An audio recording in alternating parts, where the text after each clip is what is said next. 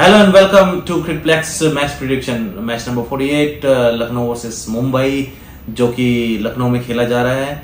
लखनऊ ने टॉस जीत के पहले बॉलिंग का फैसला किया है क्योंकि सरफेस थोड़ा स्लो लग रहा है और they put pressure on the Mumbai is better क्योंकि उनकी डीप लाइन बैटिंग थी तो चेजिंग करना मुंबई पसंद कर सकती थी इस पिच पर।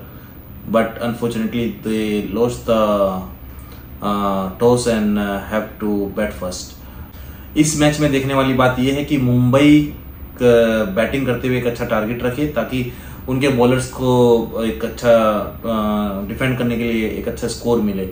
इस मैच में देखने वाली बात यह है कि मुंबई पहले बैटिंग करते हुए एक अच्छा स्कोर खड़ा करे ताकि उनके बॉलर्स को डिफेंड करने के लिए एक स्कोर मिले।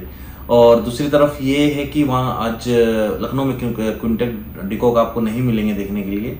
बट उनकी बॉलिंग बॉलिंग में मयंक यादव और आपको अफ़गानिस्तान के फास्ट बॉलर नवीन उलहक आपको आज देखने को मिलेंगे।